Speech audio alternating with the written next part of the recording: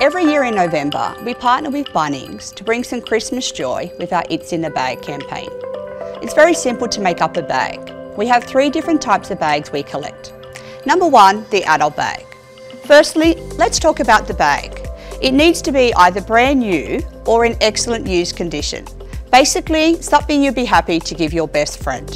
There are seven essential items we need to include in every bag.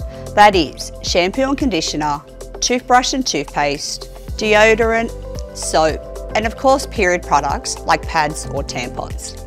Please make sure all items are in original packaging and no loose items such as individual pads or tampons. We prefer roll-on deodorant, just in case we need to transport these items to our remote and regional communities. We also ask that you add in a special few items. Now these can be things such as socks, lip gloss, hair scrunchies, a book, moisturiser, really anything that you just feel will be that little bit extra special and make our recipient feel comfortable and loved. Things you should never include in the bag are items such as food products, such as chocolates and biscuits, sharps such as razors or scissors, and pharmaceutical items such as Panadol or Nurofen. Bag number two is our teen bag, which we label with a yellow ribbon. It's exactly the same as our adult bag, except we ask that you include some pads or tampons specific for teenagers such as the Girl or Slim brand. And finally, bag number three is our Mums and Bubs bag, and we label this with a purple ribbon.